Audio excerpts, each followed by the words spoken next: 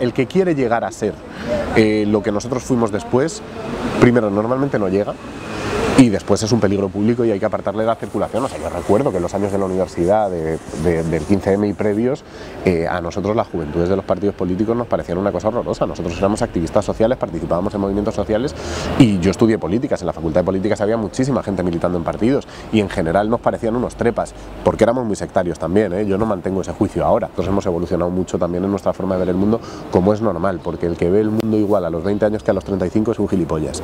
Eh, esto te acabo de dar un título Hacía falta decir nuestros recortes serán con guillotina, no. Felipe no serás rey, porque te tiren los bombones a los tiburones, ese tipo de cosas que ahora se le sacan pues, a la ministra de Igualdad, al ex vicepresidente y tal, esas burradas que... No, pero, no, pero hay una cosa que le he escuchado a, le he escuchado sobre esto a Íñigo Rejón y me gusta mucho cómo lo plantea. Uh -huh. eh, cuando tú eres portavoz de un partido, cuando tú eres ministro, eh, cuando tú eres un cargo de un partido que ya tiene una representación, es muy fácil que te escuchen. Uh -huh. Es muy fácil que te escuchen porque yo recuerdo cuando yo era portavoz de Podemos en el Senado, pues yo salía a la puerta del Senado y si quería convocaba y se ponían 5, 6, 7, 15, 20, dependía del día, periodistas con la alcachofa y eso salía automáticamente en una nota de prensa, eso salía... Bueno.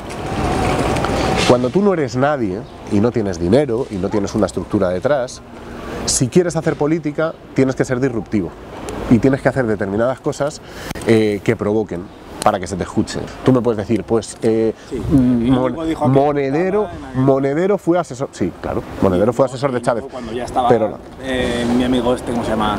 Maduro. Eh, Maduro dijo la tontada aquella de que la gente hacía cola porque le gustaba, porque había tanta oferta. Ya, que... pero ya, lo que pasa es que si vamos a hacer, no, no, no, no, no quiero decir, si hacemos, no, entro en eso, ¿eh? si lo que hacemos es la lista de tonterías que han dicho los dirigentes políticos, yo me pongo, yo me pongo el primero de la fila, las he dicho, las he dicho por un tubo, como las dice todo el Pero también creo una cosa, eh, no se ha caracterizado la dirigencia de Podemos, por lo menos en mi época, por ser los que más tonterías decíamos precisamente.